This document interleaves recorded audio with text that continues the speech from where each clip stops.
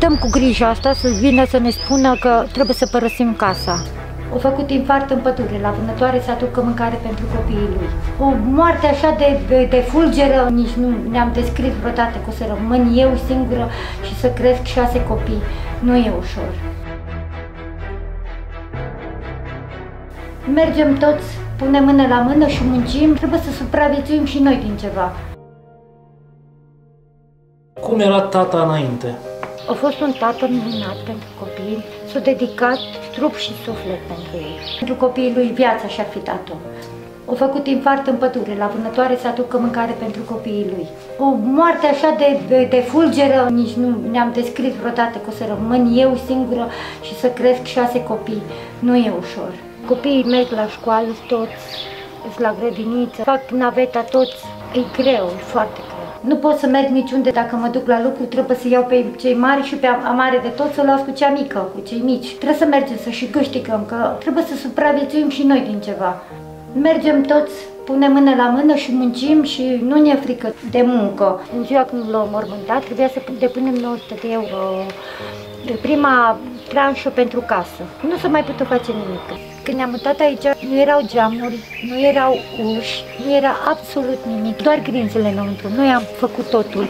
Noi am pus tavane, noi am făcut cimentat pe jos că umblau șobolii. Mi-era frică că îmi mușcă copiii, era doar Nicoleta și, și Florinuț. Foarte greu ne-am descurcat. Dar am făcut ca să ne facem condiții pentru copiii noștri. Geamurile le-am pus din alocația copiilor, am adunat trei luni la rând și uh, am dat 26 de milioane pe trei geamuri și o ușă. Eu cu copiii am lipit pereții, am lipit cu glet, că intra frigul iarna în casă.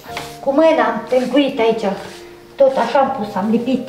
De mine e zugrăvit, eu am adunat tot în casă. Aici lada de pușcă, unde avea tata copiilor, avea pușca. Și copiii nu au vrut să să o scot din perete. O să o las acolo că e amintire de la tata lor. Nu m-ar lăsa copiii să scot cuptorul afară din, uh, din casă că e cumpărat de tata lor. La gazda lui casa asta am venit să întreb dacă ar putea să o vândă și cu cât ar cere. Ar cere 12.000 de euro. Pentru e veche. Mine, e veche, da, e adevărat. E Dar se găsesc case de vânzare altele aici în localitate? Nu. Și aici mai sunt de făcut renovări? Da, sunt foarte multe renovări de făcut. Noi am fi mulțumit și cu una din asta, că am reparau și am face dar să fie acoperișul deasupra capului. E una să stai să aștepți momentul să te scoată afară și alta să ai acoperișul tău. Melania, cât de mare este riscul să fii scoasă din canton? 99,9%. Stăm cu grija asta să vină să ne spună că trebuie să părăsim casa. Mi-au spus frumos că e trecut în patrimoniul statului, deși având de la Consiliul Local uh, aprobat că mi-o dă și acum nu se mai poate, că e în patrimoniul statului. Și pentru că soțul tău a decedat? Da, pentru că soțul meu a decedat. Tot ce e făcut aici în curtea asta, e făcut tot de mine și de soțul și de copii. Noi am adunat tot, eu cu copiii am adus gândurile și soțul meu le-a tăiat, le-a făcut uh, rotunde. Și în grădină tot făcut, tot de mine și de copii, eu cu ei lucrez, că ei sunt ajutorul meu și eu sunt ajutorul lor. Am pus ceapă, roșiile, avem cartofi, avem mazăre apusă, fasole, castraveți, speclă, gulii, pătrunjel, morcovi, ca să nu mergem la piață să cumpărăm. De aici trăim din grădină, trebuie să facem, pentru că asta e mâncarea noastră de zi cu zi.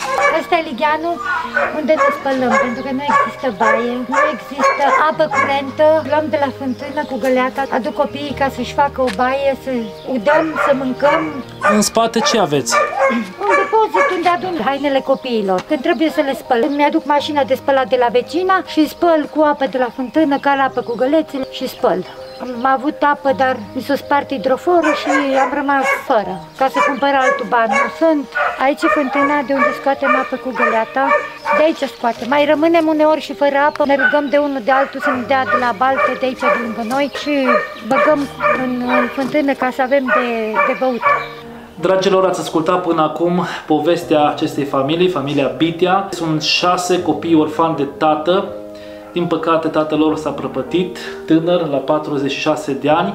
Stau aici într-un fost canton de pădurari și au nevoie foarte urgentă de o casă pentru că, din păcate, există riscul ca primăria să îi evacueze oricând. De aceea stau cu această grijă, cu această frică, ca nu cumva să fie scoși în final afară din acest canton. Da. Mama a găsit o casă aici în localitate, și ar dori să o cumpere ca să nu mai existe frica aceasta și riscul acesta să ajungă în final în stradă. Dragilor, în spatele meu este casa pe care dorim să o cumpărăm. Costă 12.000 de euro, este singura casă de vânzare aici în Cârnecea, în comuna Ticvanu Mare, județul Caraș-Severin. După cum se poate vedea, este o casă veche și care necesită destul de multe renovări. De aceea, noi avem deschis o campanie de strângere de fonduri pe site-ul nostru, unde puteți să donați cei care doriți ca să le putem cumpăra o casă aici. Nu vom putea face lucrul acesta fără dumneavoastră și cred în toată inima că ne veți susține să o putem cumpăra și să o putem amenaja.